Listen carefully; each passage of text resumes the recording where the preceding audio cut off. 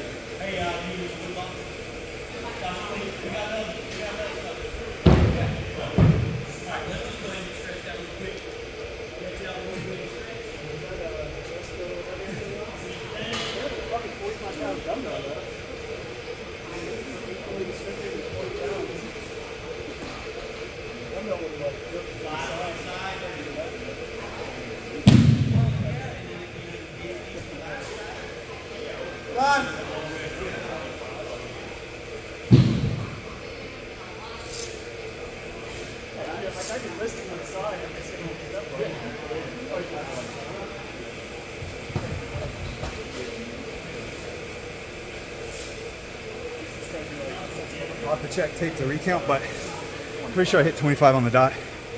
Two years ago it was 23 plus 15. Um, apparently elite is 24 plus 15, so that was a goal. But I will recount. Uh, pretty sure it was 25, but it could be 24.